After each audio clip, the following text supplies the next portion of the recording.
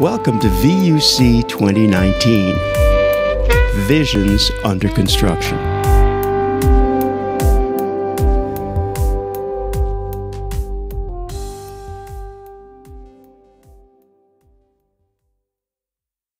All right, our special guest today, David Duffett, has indeed confirmed that he is going to be with us at Kamailio World, which is May 6th to 8th, 2019. Well, this is 2019, so that'd be silly if it was if I was announcing for either 2018 or 2020.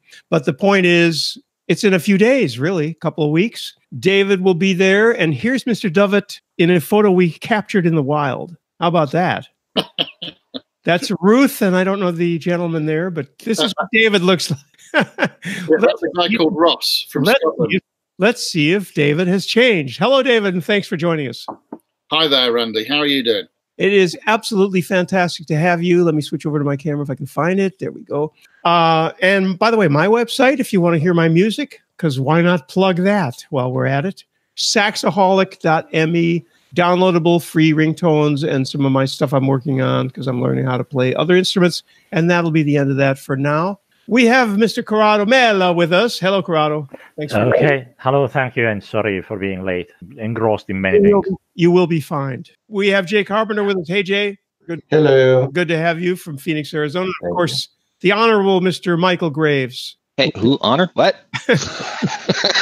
All right. Let me switch this over so that we get rid of the um, gratuitous uh, self promo. All right, we're over to the direct camera. That way there'll be less lag. David, you have zero experience in presenting, right? Because you've only done this for like 15 years or 20.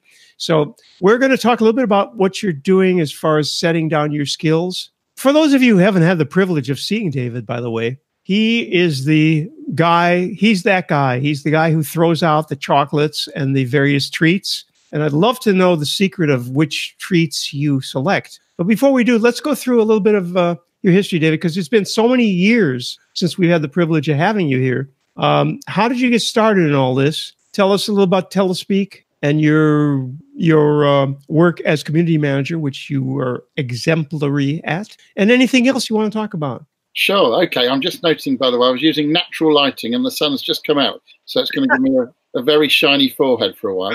Um, but not not to worry. If you can live with it, I can live with it. Um, so uh, I started um, doing presentations way way back uh, just before uh, the turn of the millennium, back in those days. So I've been at it for well over twenty years. And one of the, in fact, I'm gonna, I'm just gonna bring the blind down a little bit. Otherwise, I'm going to be irradiated here. Excuse me for a moment. What David doesn't know is that we have a secret camera behind. No, go ahead. Um, yeah, and uh, I was working for a telecoms company called Aculab, A C U L A B. They were doing um, uh, T1E1 cards and DSP cards. And I was asked to go over to America to do a presentation.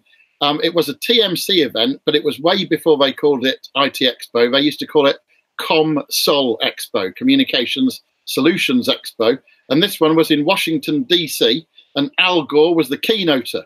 So that gives you an idea as to how long ago it was. Right. And um, I did the presentation over there, and it went uh, relatively well. But what I noticed was a lot of the other people doing presentations, although they were technically very clever, probably, um, probably uh, much cleverer than me, their ability to deliver presentations wasn't quite as good. And so um, you know, I, I, began to acquire a good reputation for presentations, not because I was, um, you know, miles and miles better, but as you know, in order to win a race, you only have to be just a little bit ahead of the other folk. And um, I, I, put the work into my presentations to make sure that they stood out a little bit, and so that's how I began to build my career. I was just. Uh... I was just tweeting to Allison Smith to ask her to come by and say hi. So oh, that would be nice. It'd be lovely to see Allison. I thought it would. David, you're going to be at Kamailio World. You're going to be at um, Com. There's lots of cons going on.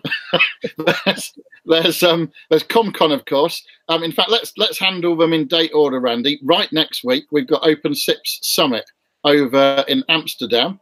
Uh, that's Bogdan and the crew there with Open SIPS. Um, and then the following week, there is uh, World with Daniel and everybody over there. Looking forward to that one as well. Um, I'm speaking at Open SIP Summit along these lines about why nerds aren't heard.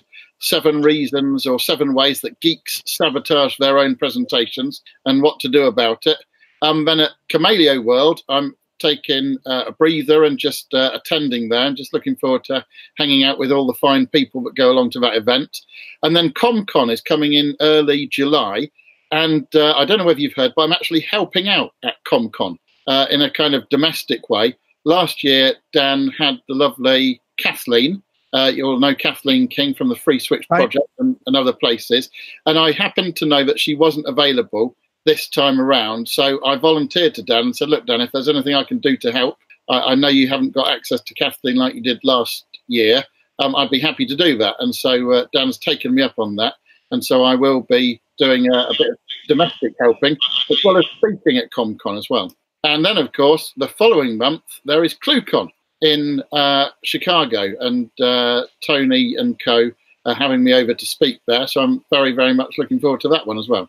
Okay, somebody says that they're only seeing me, and I don't get that because I had you set up. So let me switch the switch the focus around a little bit. That would be horrible if people are just looking at me. So we're gonna put uh, Corrado on. Corrado, say something. Say hello. Yeah, hello. I'm here. Uh, let me see if we are and going live. Uh, in my, Corrado's in my. This might be some hangout weirdness, and uh, gosh, I'm really sorry if people are having to look at me while David's speaking. I had him um, outlined as I have Corrado now. I'm going to switch over to Jay Carpenter. Jay, you can go ahead and say hello. Hello. Yeah, I could see David just fine when he was talking. Well, that's out uh, in the hangout though, and I'm going to switch over to Michael, and of course, Michael knows what's going on, and here he is. Yeah, yeah. No, I'm I'm not seeing any change. We're just seeing you in all the live stuff. So yeah, yeah. I think the hangout is taking the feed directly from something you are feeding, Randy. Instead have of you done this deliberately, Randy? Uh, absolutely not. No, well, not only that, but I mean, I have the focus for example, right now the focus is on Michael. You should be seeing him. Oh, wait a minute. You know what? I know I did. There's a bit of there's a bit of delay, but oh, this should be right. This should be right. It should be Michael now. Now it should be me, and uh, it should be following the person who is speaking. Shall I try hmm. speaking? Hello. Yeah, to me you're good, but I don't know what's going on. No, not on the on the live. Not on the live. I'm sorry. Uh, let's hope that the rec- But the audio will be fine no matter what. So let's yeah, go ahead. True. Uh, yeah. And also, let's hope that the video, if the video, uh, uh, the archived video on YouTube isn't good, I don't know what we'll do. But I, I think I know what happened, Randy. You saw the background of my video feed, which is is my office, which has only just been moved from one location to another. And you thought that looks so bad, I'm not going to allow that video feed through. That's absolutely not true. But anyway, uh, well, this is extremely distracting, but like Michael says, uh, hopefully the if the audio is recorded properly, we will have the audio. That's good. Uh, we all got faces for radio, so there you go. This is what, what, I can do if you'd like, Randy, is just uh, continue with that little brief history. Yeah, I was talking about doing the presentation over in ComSol Expo back uh, in the year 2000. Right. Um, I could just explain how I came to get the gig with uh, Digium and uh, how how that all came to be. Absolutely. Please go ahead. Okay, so um, what happened was I, I got this reputation for doing very reasonable presentations, and as such, I spent more time in the US than I previously had done, coming over to speak at various things like um, VON and uh, uh, I, they called it VoIP developer for a while, did TMC, and also uh, then it turned into IT Expo. And back in 2004 or thereabouts, I saw Digium with a booth, uh, and uh, they had Asterisk there, and I, I, didn't really know what it was, but I began to look at it, and I got quite excited about it, and and so I formed my own business in 2006, really around Asterisk. Um, Asterisk consulting and training was what I was doing, and I 2006 was the first year I participated in um, it had been going since 2004, so I came kind of two years late to the party, but I participated in every single Astricon since uh, 2006. And I began to bring things along to it, not just uh, the, a talk here and there, but uh, features to it, like you may remember fastest dude to the dial tone, like a little contest for yep. um, asterisk people to come and flex their muscles and win prizes. Uh, and so I, I, really enjoyed that uh, because I love the asterisk uh, technology, and I love the Asterisk community as well. And so that that led in 2012 to Digium asking me to come and be the worldwide community director for the Asterisk project. And uh, so I've been been doing it since then. Really enjoyed doing that. Um, one of the downsides of doing it was that I didn't actually get to make a normal, regular Astricon talk. Although I got to kind of MC the whole show and to um, editorially be responsible for the content of Astricon, it, it, stopped me from actually doing my own talk, if you like. So for the last uh, seven odd years, I've not been able to do a talk, and things have changed because uh, I no longer am working as the worldwide community director for Sangoma Stroke Digium now. In fact, I don't believe they have one. I think I think Jim Mackey, the um, VP of marketing, is kind of fulfilling uh, the, the, role of getting stuff out there to the public. And so um, this year, I'm thinking that I might get to submit a talk to Astricon. That's extremely cool and would be a big change. Yeah, in, indeed. Uh, uh, uh, maybe they, they would like to hear about geeks speaking. I think we want to hear about geeks speaking. Okay, all right. Well, yeah, let, us switch gears a little bit and talk about that. So, over the years of doing that, so 20 plus years have been involved in technical, mainly telecoms conferences. Um, I've I've been delivering those presentations. I've been recruiting presenters, and I've also been um, uh, observing the, the fact, fact that not every technical presenter is as good as I think they could be. I mean, can can I get an amen there? Have you ever seen a presentation? Amen. That, amen. That really wasn't that good. Yes, Michael was talking about one which we won't name. Yeah, no, we're not going to name names, but but let's just say everybody who stands on a stage who isn't Steve Jobs could do better. Right. Yeah. There you go. And, and and so we, you know, we and we know that these people that we see at conferences, like a ClueCon, like an Astricon, we know that technically they know exactly what they're talking about, but maybe they're not connecting with their audience as well as they should. And I think that at a technical conference, somehow it isn't quite so bad because most of the audience are technical people. And so, if you like, there's a rapport already there, there's a credibility already there. And so the technical audience will take what the technical person is saying um, and they'll, you know, they'll, they'll kind of overlook certain aspects or issues with the presentation. Of course, the same is definitely not true when that person is out in the big wide world talking to non technical people. And let's face it, the decision makers out there are not always technical people. The people that are going to give you a job, the people that are going to give you funding for your company, the people that uh, might be present in the presentation you make. Some of the more important ones might not be that technical. And so you can't rely on your technical credibility to give you a, a kind of a leg up in doing that presentation. David, do you touch on the issue of language, native native tongue? In other words, we've all probably experienced this. You know, when we go to Kamailio World, which is a great, great place to learn about a lot of things that are happening, but there are many people from a lot of different countries, and a large number of these presenters do not have English as their first language.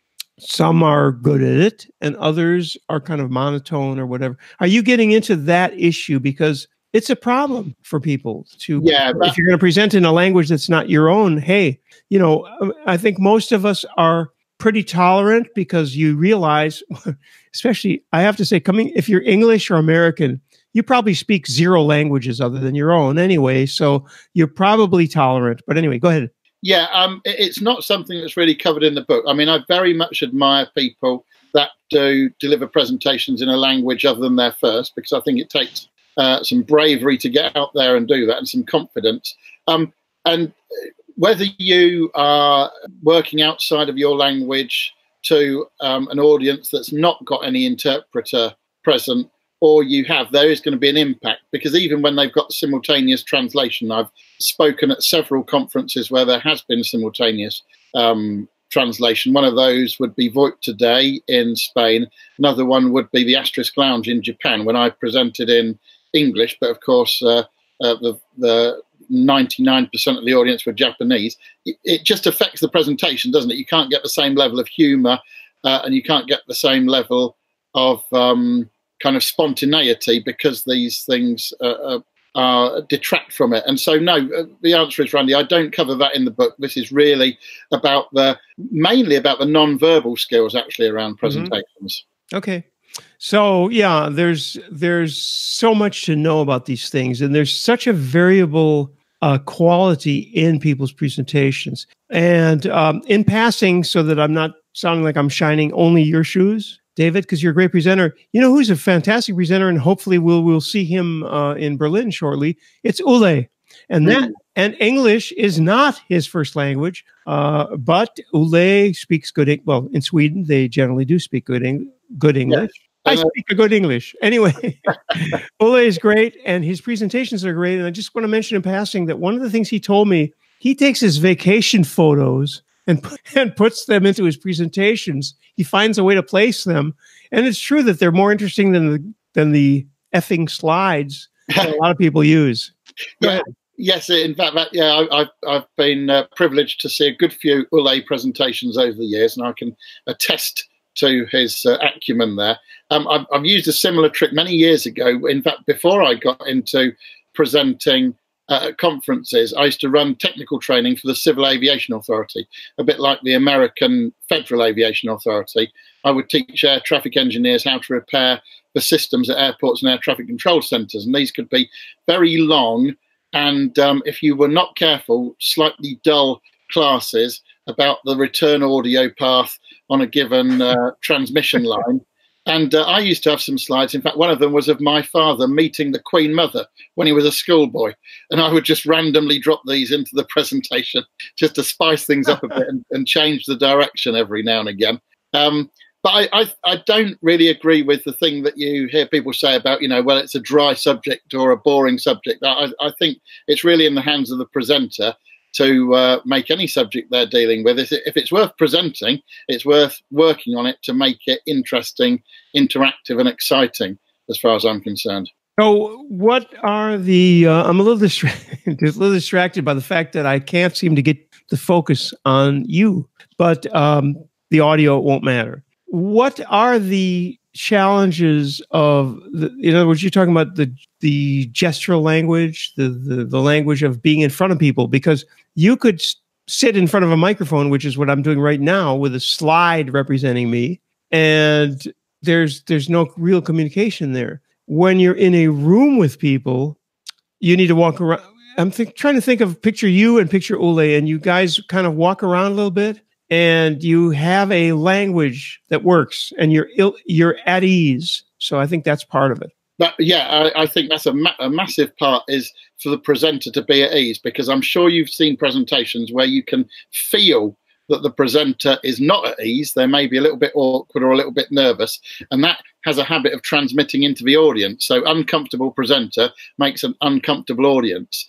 And what i would say is i'll, I'll come on to the seven protocols that I've boiled things down to um, in a moment. But I would say the most important thing that a presenter of any kind, uh, whether technical or not, can do is to establish a rapport with their audience. To invest the time at the beginning of the presentation to create the communications channel. And there's lots of different ways of establishing rapport. Um, uh, delicate humor uh, is a good way. Um, talking about shared experiences is another thing.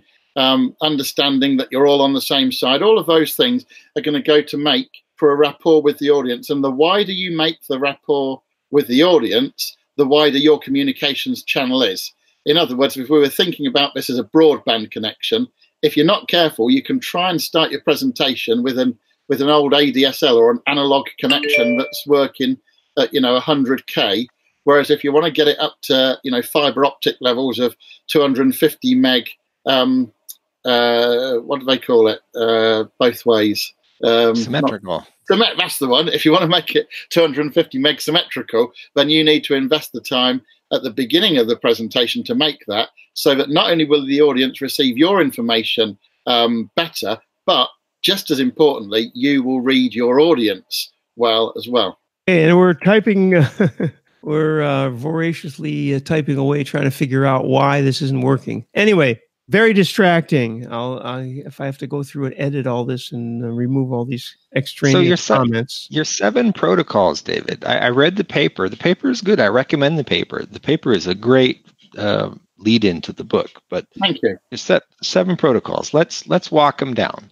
Yes. Okay. So the the, the seven protocols um, would be the first, they all begin with P, handily, just like the word protocol. And the first one would be the purpose of the presentation. I, I think all too often, when people are asked to do a presentation, what they'll do is they'll whip open their keynote on their Mac or their PowerPoint on their Microsoft uh, thing, and they'll just start hacking on slides because they think that is the presentation. Um, and they would be well advised to actually think and spend some time about the uh, concentrating on the purpose. What is the purpose of this presentation in overview terms? In other words, if I was to describe this presentation with a general aim and maybe some very specific objectives that I want the audience to achieve by the end of it, what would they be? And, and I would list those down in as something I call sounds a little bit fanatical, but I tend to call it a learning contract. So I might have a single sheet of paper or a, a, single document that tells me the overall aim of the presentation and the specific objectives that I'm looking to achieve. And I would use that learning contract to tie in the person that asked me to do that presentation in the first place, who I call the sponsor, and the audience for the presentation as well. Sometimes you can't talk to the audience ahead of the presentation or even a representative from them. And so the way to tie them in at the beginning would to say it would be to say, look, here's a list of the things that I think we need to achieve across this session. Do you agree? You know, or is there something you think is missing from this, or is there something you would uh, you would say is not relevant to us? Because if it's not relevant, it's hardly worth covering. So I, I want to tie the audience, the sponsor, and myself as the presenter into a kind of a contract that we can review at the end of the presentation just to make sure we're all happy. You know, somebody once told me that it was you got to tell them what you're going to tell them, then you got to tell them, then you got to tell them what you told them. Okay, so yeah, so now we're moving on to the kind of structure of the presentation, if you like, and that is the next P. The next P is the planning of the presentation, where you would put that structure in place. Yes, some some more cynical people, Michael, might say you've got to tell them how you're going to bore them, bore them, and then tell them how you tell them how you bore them. Hang on, I think I was in that session. but I, I do agree that it's good to have a structure. And actually, what it hits on there is people's attention spans because as you know as human beings we all have attention spans and we're all programmed somehow to remember the beginnings and endings of things and more than we remember the middle in fact the, the you know the, the posh names or the, the scientific name for this is primacy and recency our memories are pretty good at holding first and last. And let me give you an example. If you think about any particular job you've had, you probably remember the first day or two on that job and the last day or two on that job, but you probably don't remember every day in between. Do you see what I mean? Oh yeah, yeah, yeah. And these things make us so much worse in terms of we, we all have ADD now, and, and we're all sort of social butterflies attention wise. Indeed. So, yes, we, we, we tend to have shorter attention spans because we're used to getting instant gratification. So, one of the tricks that we can use in a presentation is actually to break it up. So, if you said to me, you've got a 40 minute presentation, David, I might plan actually to break that up into three parts or it maybe even four parts to make them mini presentations within the presentation so I get more of your firsts and more of your lasts. Because if I've got, let's say, 30 minutes, if I did it as one big 30 minute chunk, that would give me the first couple of minutes and the last couple of minutes. But if I broke it down into three sub uh, structures, I could get three lots of firsts and lasts. So yeah, planning the presentation and putting a structure in place that's going to work in with your audience's memories and the way that they recognize information is key. But it's it's not just the beginnings and endings, uh, the first and the last, the primacy and the recency. It's also planning to tell them things in a way that they're going to already recognize. And I'll give you an example of that. And it, it, it, of course, it is the analogy. Using an analogy to tell somebody some new information along the lines of existing information they already know. Let me give you an example. This will take you back to your college days when we think about Ohm's law and uh, resistance in electrical circuits. Now, if I was introducing that uh, to somebody uh, in a brand new uh, who's, who's not come across it before, what I might say is imagine a hose pipe in your garden and water flowing through it. And when I put my foot on the hose pipe and squash it, or if you're in America, squish it, then that restricts the flow of the water. And thus, I'm using something that everybody can relate to in order to introduce a new concept. So that that's another um, uh, thing to get things into people's memories is links with what they already know or analogies. Repetition is also a good thing. So if you can repeat the main points that you want to give across a presentation, not only at the beginning and at the end, but in the middle as well, that's going to be good. Repetition is, uh, after all, the mother of learning, but it's also the distant cousin of boredom. So you have to be a little bit careful with the way you pepper some repetition throughout the presentation. And then last is outstanding things. Uh, and I'll give you an example of this. If perish the thought, Michael, uh, and, and, and other members of the panel here, I was wanting to show you all of my holiday photos from my road trip last year in uh, the US, where I went from Key West in Florida to Anchorage, Alaska. Uh, I've probably got about 5,000 photos from that trip.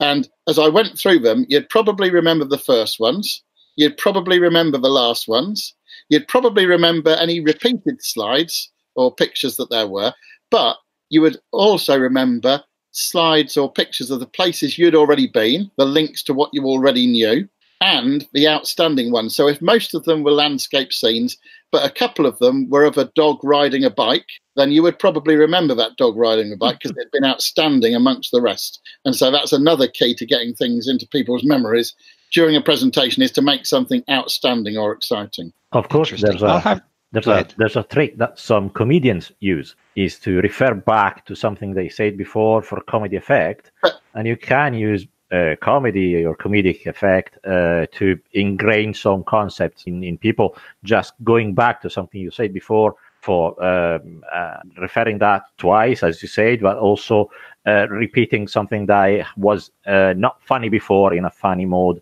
in a funny way, the, the, the following moment. Uh, so that's that triggers that amygdala moment in your brain because you you get some sort of reward off of that uh, it makes you feel happy so you have that positive feeling and you remember the thing more more likely uh, in, in in long term yes very much so in fact that specific thing of, of mentioning something early on in a presentation and then coming back to it later especially near the end is sometimes called a collapsed loop uh, technique where you bring something in and then you come back to it right at the end to make a point. I can give you an example I used once.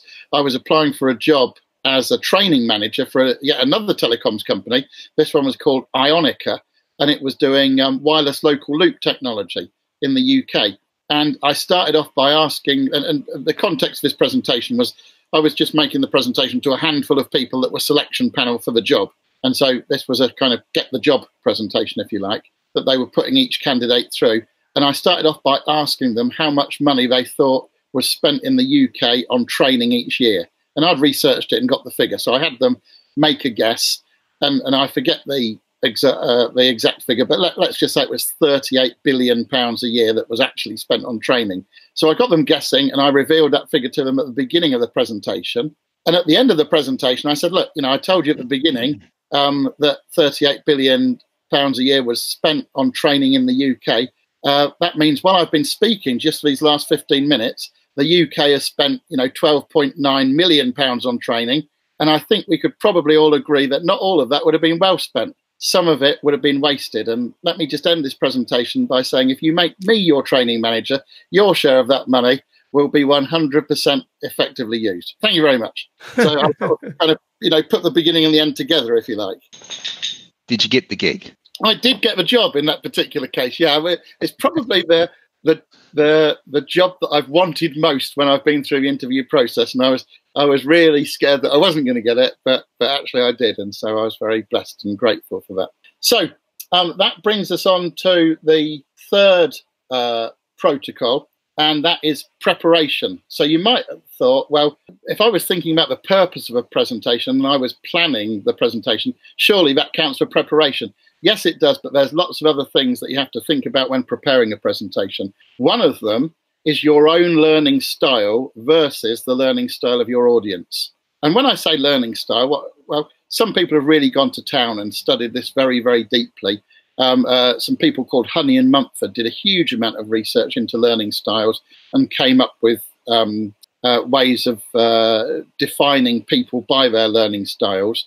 Um, I tend to simplify things and just think about whether you're an action orientated person, an input orientated person, or more of a reflective person. And uh, again, I'll give you a quick example. Imagine if you've got a brand new um, electrical appliance at home. Let, us say it's a, a, digital video recorder, a hard disk or a solid state video recorder or streaming device.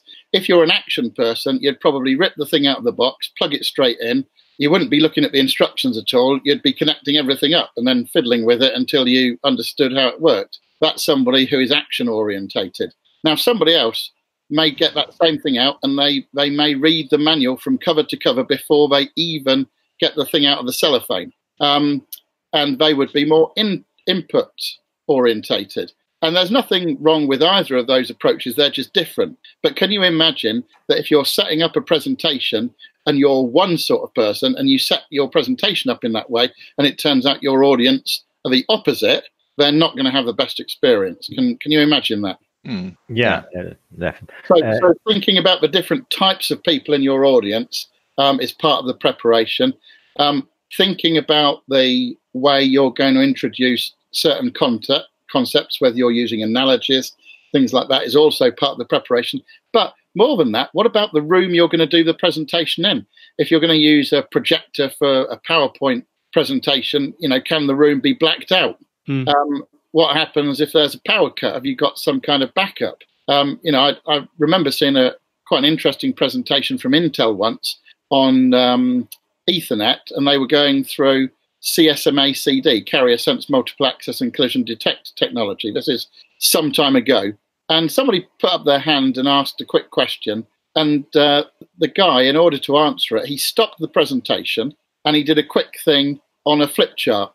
And I would say that the thing he did on the flip chart, the explanation he gave as he drew it out on the flip chart, was just about 100 times more effective than any of the slides he'd got in his presentation. So when you're putting together a presentation, you need to think about things like that because that's outstanding. That's something different that people are going to remember. And so that should also be part of your preparation. Uh, I guess probably the guy was more uh, apt at doing on the fly, on the hoof stuff rather than prepared stuff. So probably uh, drawing on the flip chart and, and then going solo and going free, uh, it was probably his best rather than. Yeah. than yeah. yeah so indeed. you need to research that too. The preparation is also finding your style. The one is more effective. But very much so. Very much so. Be, being true to your own personal style is an absolute key. Because if you try to get away from your own style, let, let's say you see somebody do a really funny joke and you think, I'm going to build that in my presentation. If it doesn't work for your style, it's going to fall flat and it's going to make people even more more uncomfortable. So you definitely have to be true to your own style. And, and again, yes, you're quite right. Part of your preparation would be making sure that everything uh, fits with your own style. David, if I if I if I can just react to something I, I you just said, I've I've had to run around a little bit, so I hope I've understood properly this. But um, you seem to be saying what we've always said for websites. When we talk to people who want to design their websites, I've always told them, look, there's a simple way to do this put yourself in the position of the person who is going to come to that site and why are they coming there and what do they need to do. Um, and I think what you just said uh, earlier, not the last thing, but just a little bit earlier, was to try to put yourself, sit yourself in the audience as if you were watching yourself and look at what exactly you're saying and how you're saying it and whether that's going to go over to the majority of people who are sitting there. So, getting back to the website for a second, and I'll shoot it back to you.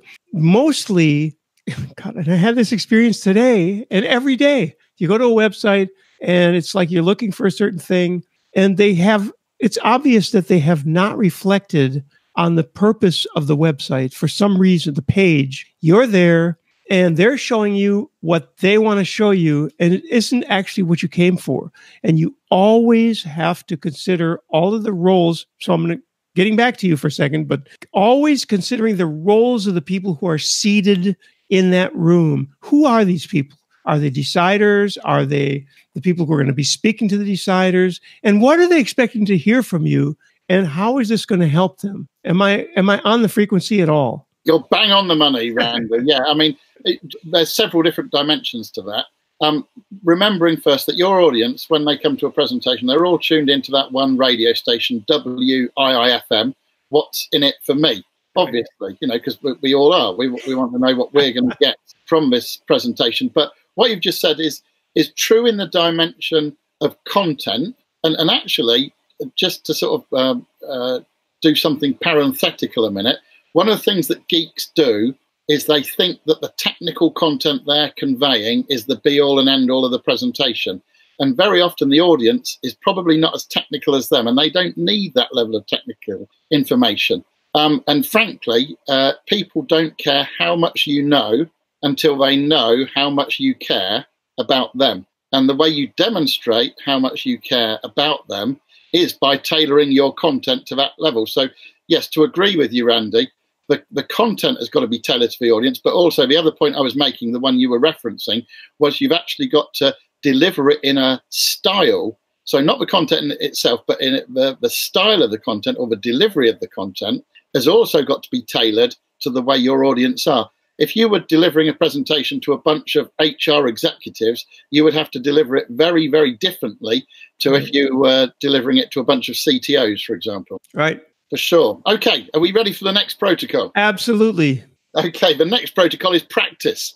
Um, and practice is a very, very, very important thing. You'll remember the FBI's six P's. Perfect practice um, prevents particularly poor performance, or, or something along those lines.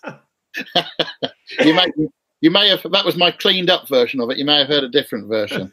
Um, practicing is incredibly important, and practice. Here's what practicing is not. Practicing is not looking at the PowerPoint slides and in your head thinking, "Yeah, I'll say that while that slide is up, and I'll say this while this slide is up." Practicing should really be done out loud to a real life audience if possible. If you haven't got a real life audience to do a practice run or two, do it to your voice recorder on your mobile phone, or maybe even video record it on your mobile phone. But the more practicing you can do, the more polished you're going to make that presentation. And if it's worth presenting in the first place, it's worth presenting it in a practice run to get it right. Uh, as Zig Ziglar said, if a job's worth doing, it's worth doing poorly until you can do it well. So, you know, put yourself through a few cycles of practice so that you can make that presentation perfect. Uh, another phrase to remember is that amateurs practice until they get it right, but professionals practice until they can't get it wrong. I should like to say that in advance of, uh, I gave a presentation a little over a year ago at IT Expo.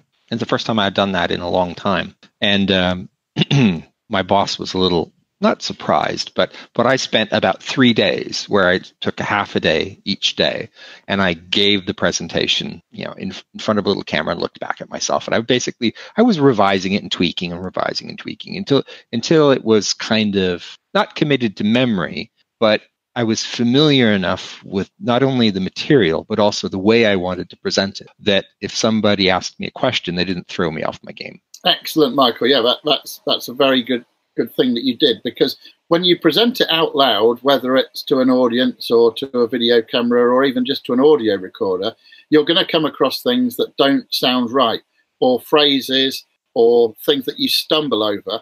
Um, and and you don't realize that until you actually do it out loud. And, and, so, joke, yeah, and jokes that don't work. That's a that's a big one. Jokes that don't work in the context of the presentation. They might be funny to you in isolation, but but yeah, yeah, very much so.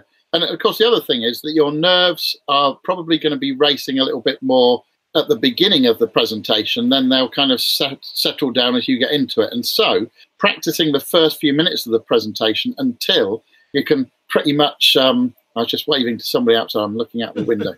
um, practicing your presentation at the beginning of it until you can virtually do that kind of on autopilot is a distinct advantage because when you know when when the tension is high and your nerves are high and you've just come out on stage or in front of the group or whatever if you can just launch into your presentation because you've practiced it um, so many times then that will really do you a good service. And also of equal importance i would say is the end of a presentation because you've probably seen a lot of presentations where, and i'm sure uh, we'll see some in the future as well that kind of fizzle out they kind of whimper out at the end you know, they say, well, you know, that, that's all I've got to say, really. Uh, any questions? And then uh, control is handed over to the audience for the questions. And what happens is, you know, maybe there's one or two. Of course, it, it could be the embarrassing no questions, or it, it, could be that there's a couple of questions and then it kind of dies out. Um, and and it, you know, fizzles out and loses the will to live. And um, I, I'm a big fan of actually the presenter keeping hold of the presentation and saying something like this Okay, before I summarize my main points, who's got my first question? So then you temporarily give control to the audience to ask questions. And when they've finished asking questions, you know that control is coming back to you, the presenter. And now you're going to summarize your main points. You're going to send everybody off on a high and uh, solicit an amazing round of applause. And that's much, much better than letting it kind of whimper out near the end. David, you uh, mentioned that you needed to get going soon. So let's make sure that we have the URLs that people need to consult to check out your upcoming uh, publication. Thank you very much, Randy. Yeah, I'll just mention the last couple of protocols while we're here. One of them, I, am struggling with the name for this one. It, it's going to be begin with a P, and it's either the presentation itself, the actual delivery, you know, your pitch, your posture, your pace of your speech, and things like that. And uh, it's either it's either production or presentation. I haven't decided. Uh, I'm, I'm open to comment on that. And then the last one is post event. It's what you do after the presentation to ensure that it has been a success. So, that, so those are the protocols there. If people would like to see more and download the same paper that Michael kindly did, uh, they can go to letthegeekspeak.com slash free dash report. That's letthegeekspeak.com slash free dash report.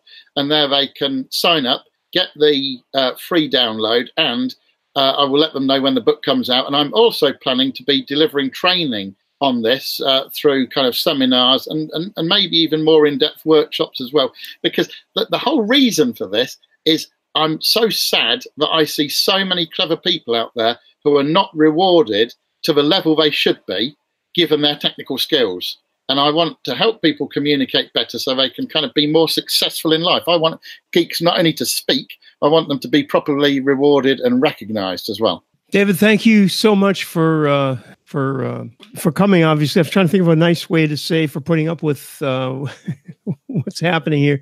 We don't have any visual, but we do have the audio, and it's great. And I have that letthegeekspeak.com up on the screen now, and that's about all we can do. And we're probably. Right, okay. What, one thing I would just say is if people go to just letthegeekspeak.com, they'll find kind of a holding front page.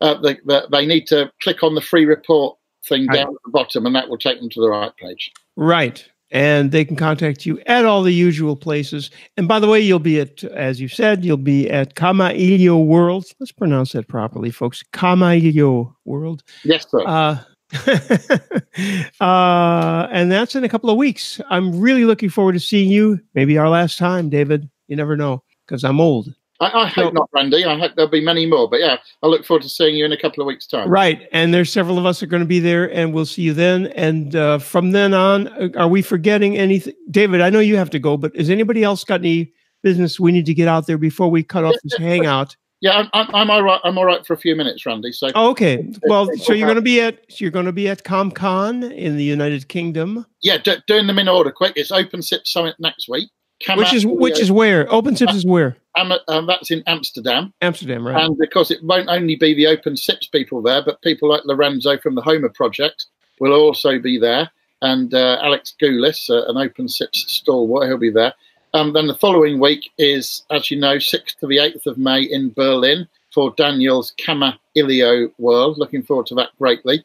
Um, the first week or the second week of July is CommCon very much looking forward to that. And I, I tweeted some pictures of the venue for that because uh, since I'm helping out, um, Dan invited me along for a little bit of a recce of the venue, and we went and had a look around that earlier this week.